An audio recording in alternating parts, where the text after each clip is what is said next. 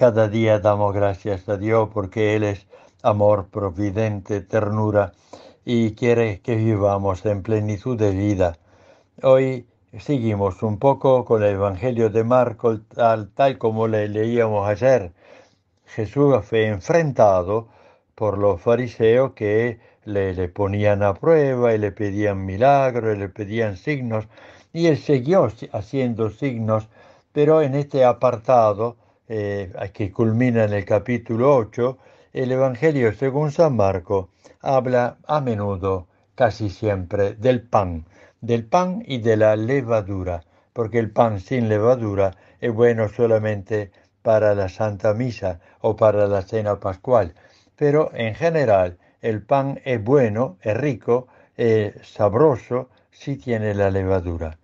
Pero Jesús dice, cuídense, dice a los discípulos, cuídense de la levadura de los fariseos y de la levadura de los herodianos. Yo no estoy aquí a explicarles qué significa todo esto, pero para mí es la doble vida y la violencia. Los herodianos eran muy violentos.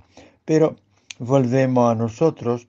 Jesús, como vimos ayer, se cruza del otro lado del lago y los discípulos se habían olvidado de llevar pan y no tenían más que un solo pan en la barca y estaban discutiendo entre ellos y Jesús que los escucha quiere hacerle dar un salto, un salto de comprensión.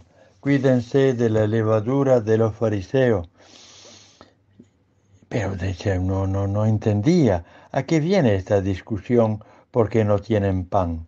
Le dice Jesús a los discípulos, todavía no comprenden, no entienden. Ustedes tienen la mente enseguecida, tienen ojos y no ven, oídos y no oyen.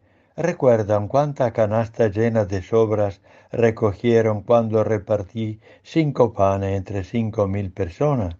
Y ellos le contestan doce. Y cuando repartí siete panes entre cuatro mil, ¿cuánta canasta llenas de trozos recogieron?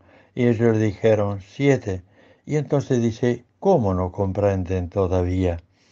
Entonces aquí realmente debemos que no solamente nosotros somos ciegos y no comprendemos el anuncio de Jesús y la vida de Jesús en el Evangelio. Estaban también los mismos fariseos que no comprendían la novedad del Mesías, la novedad de Jesús, ni los propios discípulos y los apóstoles que habían dejado todo, que habían hecho una opción, comprenden. ¿Por qué? Porque estamos muy metidos en lo material. No estamos para nada dirigidos a lo espiritual y aun los que creen o creemos que somos muy espirituales, espiritualistas, lo hacemos por interés personal, no por amor y alabanza de Dios. Entonces hoy queremos pedir mucho a Jesús.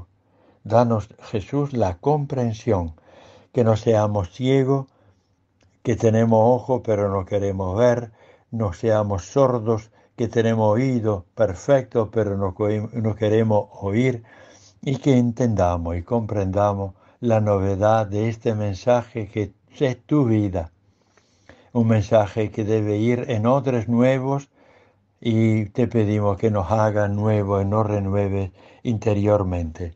En nombre del Padre y del Hijo y del Espíritu Santo. Amén.